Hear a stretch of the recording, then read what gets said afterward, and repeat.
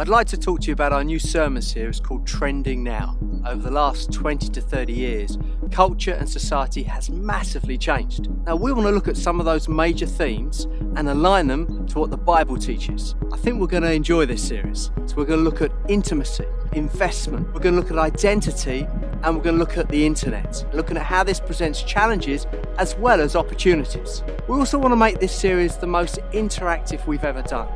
And the way we're going to do that is ask you to send in your questions throughout the series looking at these topics.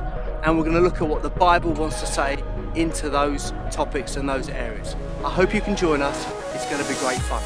I'll see you there.